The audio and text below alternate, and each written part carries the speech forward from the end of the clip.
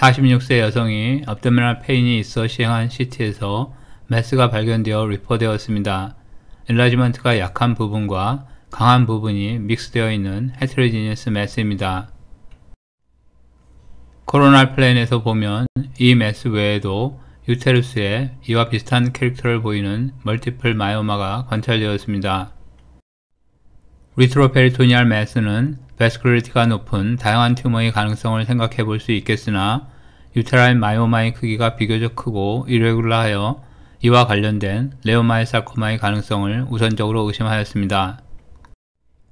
retroperitoneum의 mass는 leiomyosarcoma가 진단되었고 uterus의 mass는 leiomyoma로 진단되었습니다. 2년 전에 uterine myomectomy를 받은 여성이 간에 mass가 발견되어 내원하였습니다. uterus에는 myoma도 관찰됩니다. origin이 liver인지 extrahepatic인지 구분이 어려웠는데 mass가 크고 주변 장기를 displace 하였지만 invasion은 보이지 않고 내부에 necrosis도 현저하지 않은 병변이었습니다. uterus에는 multiple myoma가 관찰됩니다. coronal plane에서 kidney를 displace 시키는 mass가 보이는데 비교적 smooth하고 경계가 잘 그려지는 mass입니다. dynamic CT에서 tumor 내부에 hypertrophic tumor vessel을 볼 수 있고 delayed phase에서는 mass 대부분이 enhancement를 보입니다.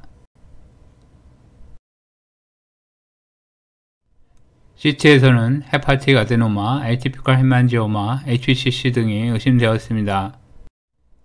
MRI에서도 비슷한 소견을 보였으나 T2ATD 이미지에서 cystic 또는 necrotic change를 한 부분도 관찰되었습니다. MRI에서는 liver mass보다는 leiomyosarcoma 등의 retroperitoneal sarcoma를 의심하였습니다. liver의 일부와 함께 수술로 제거하였고 병리적으로는 smooth muscle tumor of uncertain malignant potential이 진단되었습니다. STUMP는 leiomyoma를 넘어서는 histologic feature를 나타내나 leiomyosarcoma로 진단하기에는 부족한 tumor를 지칭하며 소수에서만 malignant behavior를 보입니다.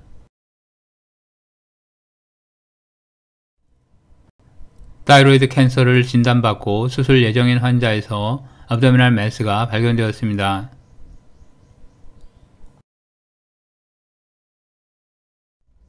precontrast에서는 kidney보다 높은 attenuation을 보이지만 이후 조영 증강은 잘 되지 않는 homogeneous solid mass입니다.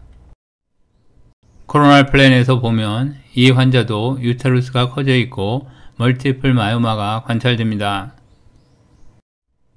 retroperitoneal tumor도 수술로 leiomyoma가 진단되었습니다. 오늘 증례들은 크고 불규칙한 uterine myoma를 가진 환자에서 retroperitoneal mass가 발견될 경우 leiomyosarcoma, STUMP, leiomyoma 등을 의심해 볼 수 있음을 시사합니다.